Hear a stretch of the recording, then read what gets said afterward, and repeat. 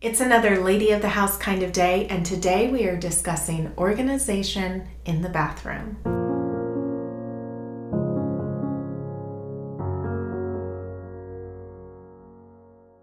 Welcome back, ladies. Today we are in my bathroom. I am going to share with you my guest bathroom as well, but we have three bathrooms within my home, and so we are not going to go into the girls' bathroom this time, but we do have a guest bathroom in addition to this off of the master suite.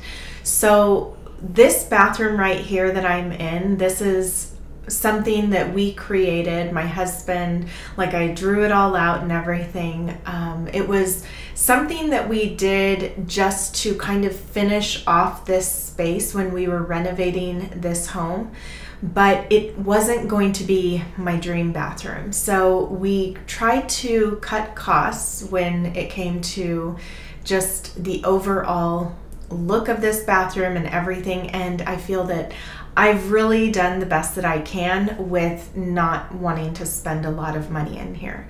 So today we are going to be discussing organizing for the bathroom that we have.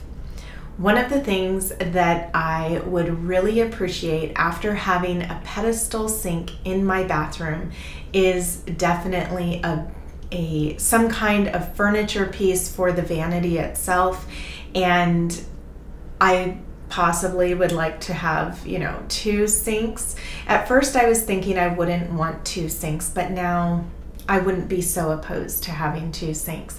But definitely drawers and cabinets underneath the sink, I think would be a real benefit, especially in a bathroom. So if you have those things, that's great. I'm sure it's a lot easier for you to organize your space. But I still think that no matter what bathroom we have, we can still organize it beautifully, and that's what I wanted to share with you today. I have gone through many different phases within this bathroom, different pieces of furniture, just trying to figure out how I can have those things on hand that I would need in here, but then also eliminating those things that I could do without just to keep this space clutter free and function well for us. So, this is a bathroom that my husband and I share. However, he does not bathe in this bathroom. When we were making this bathroom over, I had originally wanted a shower to be able to be in this uh, clawfoot tub. Um, I would have been fine with a wraparound curtain in there, but he just wanted to go the route of it being the um, like the faucet down here.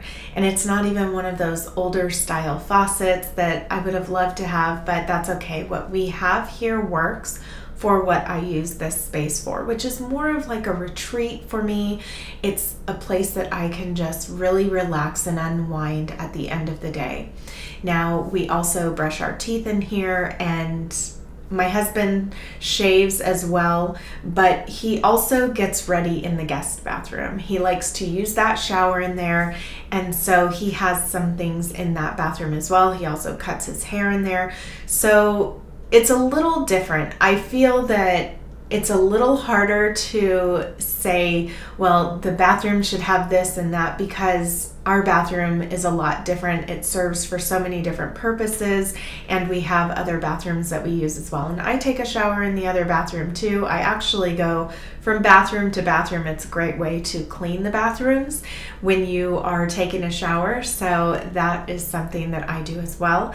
But Today, I wanted to share the main things that I keep in this bathroom, and then I've already discussed, as far as the bedroom organization goes, the different places that we can do different things like our makeup, our hair, things like that. I don't use this bathroom to do those things. And part of that, I would have to say, is because I don't have natural light in this bathroom.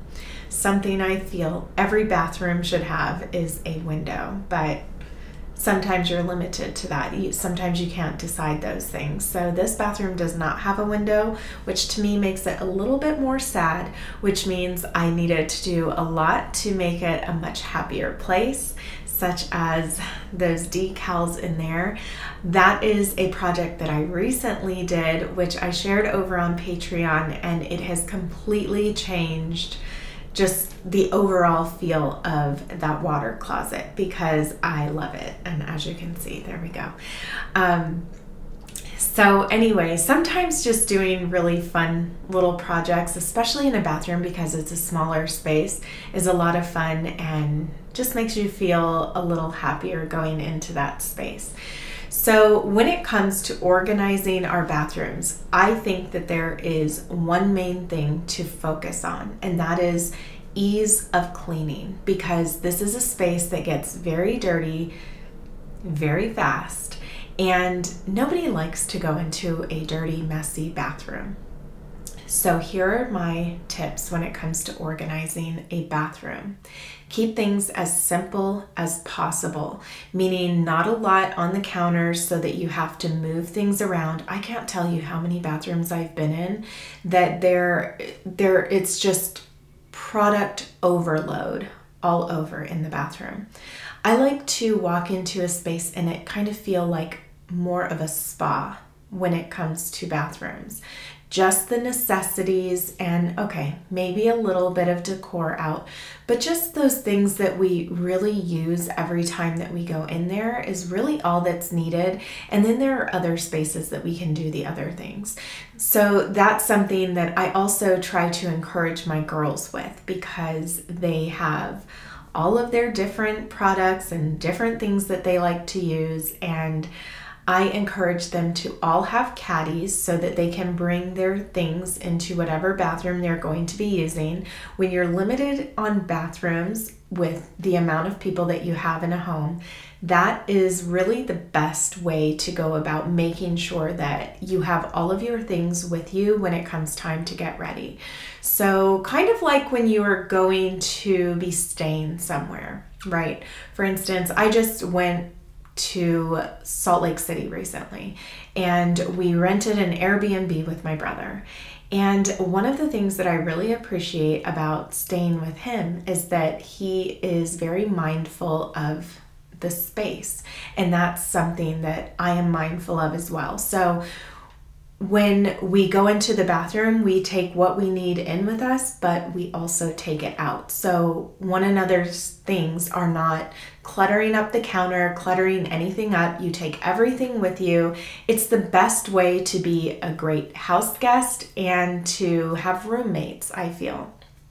So that's kind of how I set this space up in here because my husband and I share this space. I have little baskets for each of us, and this is how I have everything organized right now.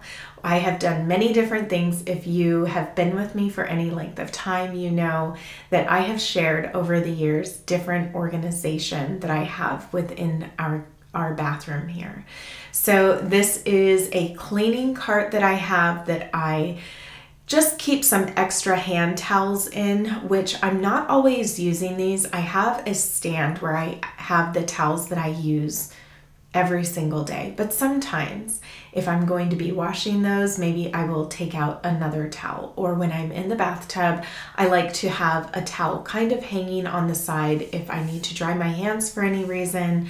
So I have these hand towels within here. It's a great place to just keep them because of the way that this drawer pulls out with the glass flap on top. It's just a little bit more, I would say things aren't as easily accessible as a cabinet. So that's where I keep those things. Then underneath, I have two baskets. I found these baskets at Michael's, and I am very tempted to go back and get a couple a couple more of them because I have them in various places in my home and they are so cute, just beautiful, and I love the color that the wicker is. So it just, I think, makes for a great way to organize. And then it's not that plastic bin that, you know, I don't know. I have a thing about plastic bins, they just kind of look cheap to me. So I've been getting away from using those within a lot of things. Now, they do have their place, I feel, but something more like this is just a little bit more homey looking and I feel looks great on shelves um, out in the open. So I would definitely invest in more of these. Now I have one for myself and one for my husband. So to save your marriage, get your own toothpaste tube. That's all I would say. No, it. I mean, hopefully, that would not be a deal breaker there. But to keep from having arguments or just um, you know frustration in that regard if you have your own toothpaste tube, that would serve you very well. And really for everybody. I like a different toothpaste than the kids like, then, you know, so if everybody had their own things, then everybody can keep their toothpaste the way that they want to keep it that's important to them because there's nothing worse than going to use the toothpaste tube and it's all gross. And if somebody else doesn't mind that, let that be for them. But it's not going to be on my toothpaste tube. So I have my own and I just have my own little basket. I feel that this acts as a little drawer. So I can just pull this basket out, put it on top of the I used to use this as a cleaning cart, but it's just our little cart here in the bathroom now. And everything that I need that I use in this bathroom is right there. Now, one of the things that I also like to do in here, of course, is to floss my teeth, and so does my husband. So we have a little jar on there, which I also got at Michael's, but any jar will do, especially one with a lid, because then it keeps from, you know, dust settling on it, and they're just, you know, that those ones are clean. So I keep all of those little toothpicks, tooth uh, floss things right in there, and then it's clear, so I can always see if if it needs to be refilled or anything like that. And then also the soap, which I use the same hand soap as I use for my face. Some people might say, you know, that's not a great thing, but the less products to me, the better. I do have a cleanser, which is by Lancome, which is wonderful. It takes off any extra makeup. Now let's talk about the towels that we have out. I have a towel that is for just drying my hands. I have a towel that is for kind of wiping off my face and then any extra makeup that I might be wanting to take off with like the mascara or the eyeliner that's really being stubborn, I will use my product on the other side of that towel and then just make sure to wipe all of that off.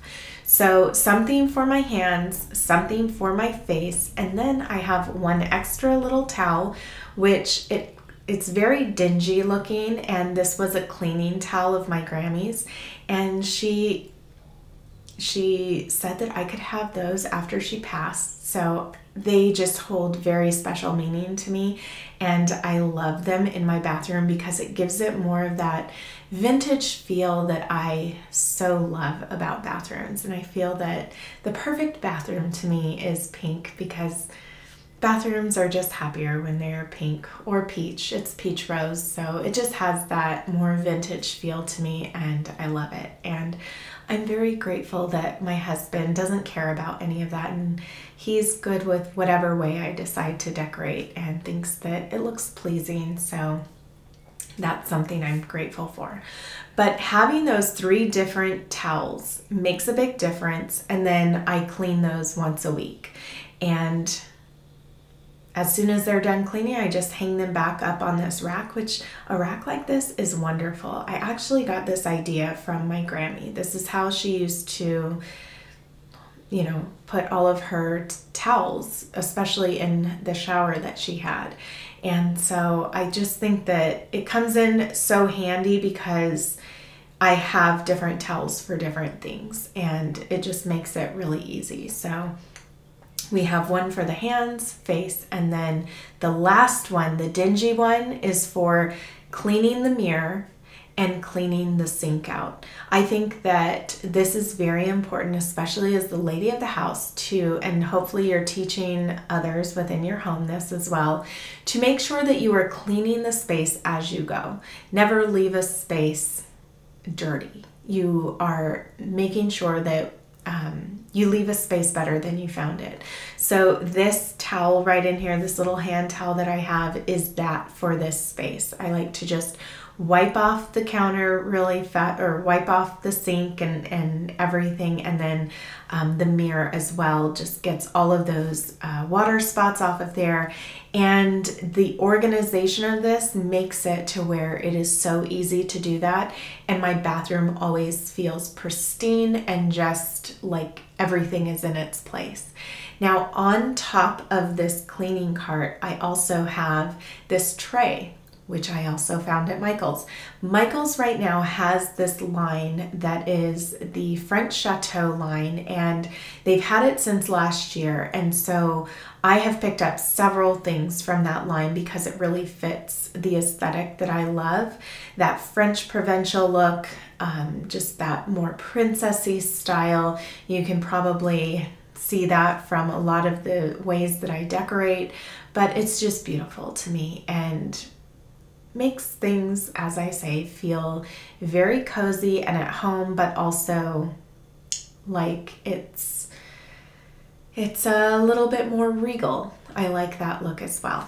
Okay, so on this tray is where I would put any earrings that I just want to take off when I'm washing my face, washing my hands, as well as a little clip. I just keep a little clip over here because when I am washing my face, I want to have something to put my hair up with, but I make sure that it looks beautiful so that when I come in here, it's just like it belongs. Now, again, we are not crowding this space with things that we don't use this space for or just because we feel that we've always heard something needs to be in a certain space. I completely go against that because I think that there are different spaces that we can use for different things.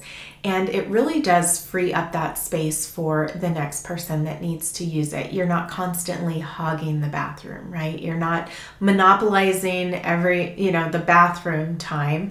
And you can do things in different areas. This is a great reason why I put mirrors all over my home anybody can go and get ready and do different things in different spaces. Okay, let's move on to the laundry hamper. I have a laundry hamper that is pretty exposed here in the bathroom and I just keep it to the side and all of my clothing goes in there and everything that I wear in a week fits in this hamper right here. Right now it's empty because I just did my laundry, which means it smells amazing in here because I hang dry my clothing as well.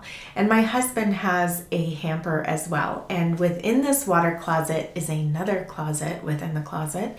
And that is where he has his hamper and he has more space to hang clothes and all of the different things that he likes to store and keep he keeps in there but the water heaters in there as well. So it's it's not the prettiest space, but he likes it. He likes that extra space that he has and he can do with it as he pleases. But um, one of the things that I ask him is that if he needs his laundry done when it's not just on his laundry day, then if he can just pull out his laundry hamper and put it in the laundry room, then I know just to do it. By the time he gets back, it's done like magic, everything's put away.